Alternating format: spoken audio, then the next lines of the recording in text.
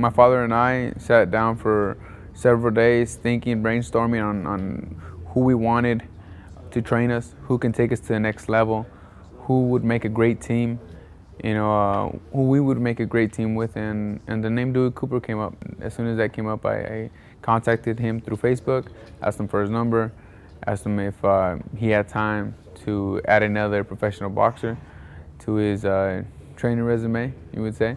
And um, thankfully, he accepted the task.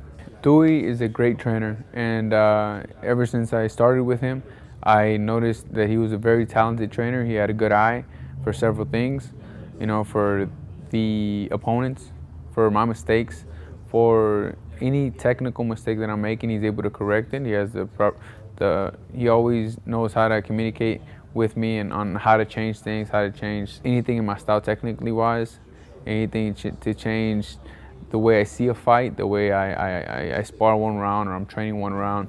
He'll explain everything to me what needs to be changed and why.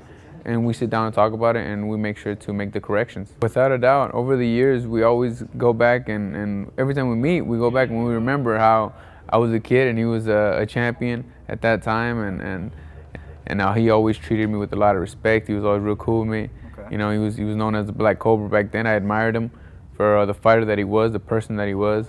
And uh, there's certain situations that you you never forget. You know, like him helping out young kids, uh, me being one of them. Dewey is a strict trainer. He makes sure that we're correcting things.